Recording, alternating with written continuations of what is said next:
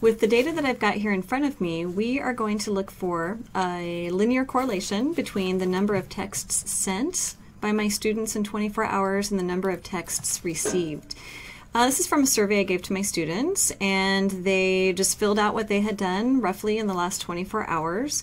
I do have mine in Google Docs, so I'm going to transfer it over to Excel really quickly. But before I do, I noticed that one student typed in 100 or more, which Excel will probably read as a text instead of a number. So I'm going to go ahead and just change this to 100.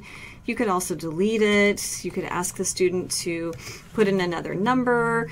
Um, just depends on your own analysis of the data. But let me just take a minute and put this into Excel. I'm going to File and then Download As and then Excel. If you're already in Excel, you don't need this extra step. I'll hit OK, and then I'll catch right up with the rest of you. So once I'm in Excel, I'm going to click on Enable Editing. Um, I'm looking for a linear correlation between text sent and text received. It looks like as text sent go up, the text received also go up. It looks like they're really closely matched. So I'm going to go ahead and highlight this data. So I'm going to click on this first cell in G. Then I'm going to hold and drag until I'm to the opposite corner there. And then I will release that. So I've got those selected. I'm ready to insert a chart. I'm going to insert my scatter plot first and then have Excel label the um, equation of that best fit line. So I'm going to insert, I go to charts here, I'm going to select the scatter plot symbol, and I want just a regular scatter plot. Okay, so Excel gave me a really nice, quick um, scatter plot. Let's see, text sent was first, so that's going to be along my x-axis, and texts received is second, so that will be along my y-axis. It just guessed, it just guessed at the title, and it really isn't. So if I just change this, so text received um, should be text sent um, versus received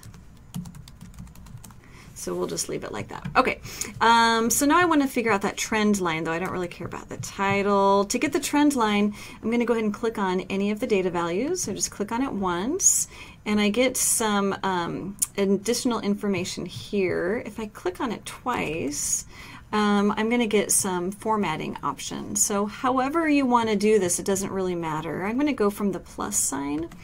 So if I go from the plus sign, I'm going to go ahead and choose trend line. Um, maybe I want to delete that chart title. It's not the best. So I can go ahead and just delete that chart title.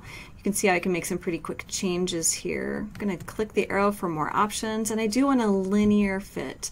The other ones don't quite fit the data, and you can kind of get some interesting options there, but I do want the linear one that fits my data the best. So I go ahead and click on that. So it gives me the line, but it doesn't give me the equation of that line. So I want to go ahead and double click on this. So if I double click on the line itself, Oh, let me get out of this. Um, so let's just, there we go. So I double clicked on the line itself and it opened up this format trend line box. I can also get there by clicking on format and then format selection since I've already clicked on the line. So I do want to go ahead and format this trend line. So I've got my trend line here. Um, if I go down to um, this first trend line and I want to get to some options here, um, not the effects, I want the trend line options. Here's where I want to be. So I'm going to go ahead and scroll down here. It's a little bit hidden, but if I scroll down,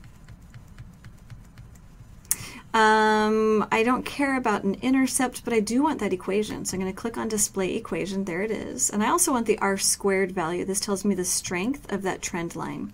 So I've got the equation y. Those were um, the texts sent um, in 24 hours. That second, let me close out of this. Oh, text received were my y values. So text received is equal to 0.973 times x, those were the first ones, text sent, plus 154.